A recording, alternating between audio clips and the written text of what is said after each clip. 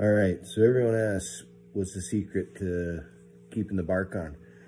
Well, I swear by Chill Sealer. Um, it's epoxy, goes on, mixes up easy. It's a two to one mix. And you just paint it on with a brush and she's done. So I'm just gonna show you quickly here how we do it. So like I said, two to one. I'm gonna mix up three ounces, two ounces.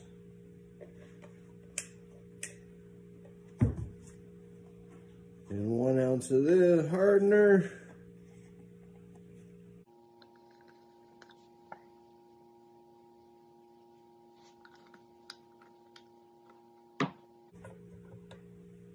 And we mix it up.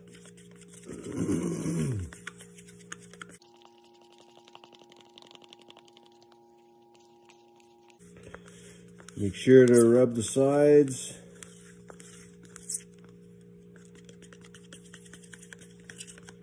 And you'll notice as you're mixing this epoxy, you have little strings.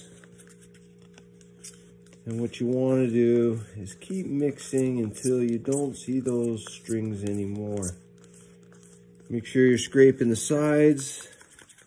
Get the epoxy residue off the sides and the bottom.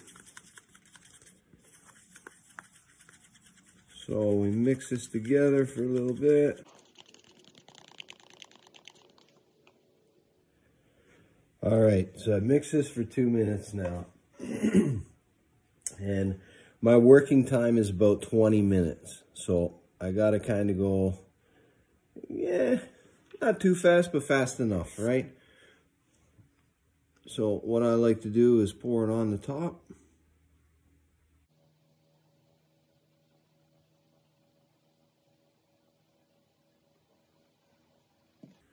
And then I brush it in. Now I want to keep it on the top as much as I can so that it saturates the bark from above and gravity helps draw it down inside the bark. And I'm going to go close to the edge. And now what I'm doing is just trying to coat the bark and give it a nice little seal.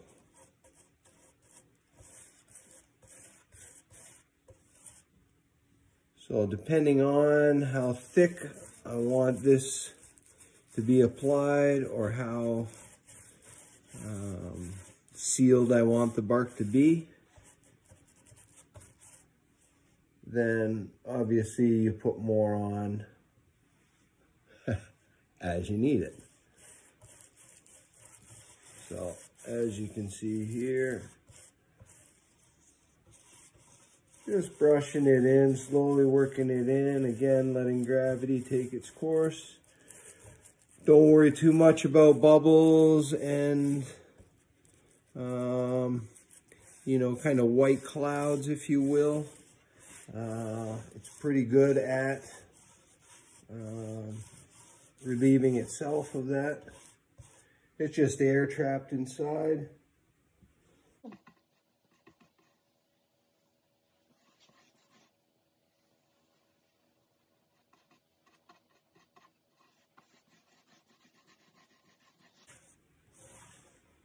And try and get in all the nooks and crannies with your brush. Different directions.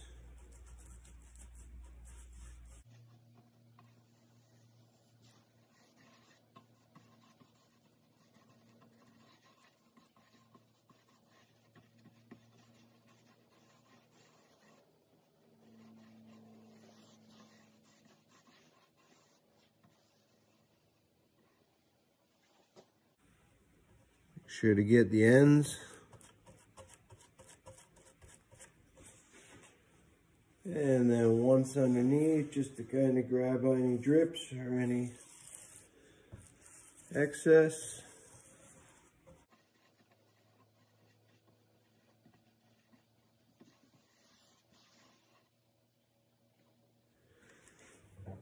Now, I also like to hit it just quickly with a heat gun. And it's simply just to remove some of the surface bubbles.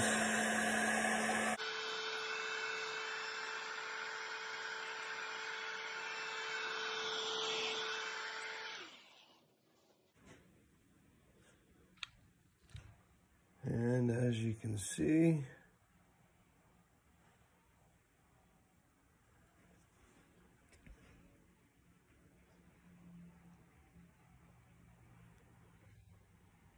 Not bad. All right, so now that I've just hit it with a bit of heat, I'm gonna take my brush again and just kind of wipe up any excess.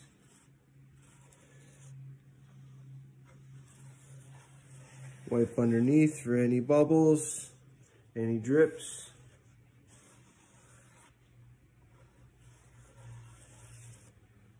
And then I'll do the other side as a second coat. And there you have it. So that's how it's done. Um, ends up looking pretty nice. Anyways, you can check out uh, Chill Sealer product uh, on my website, uh, strangewood.ca.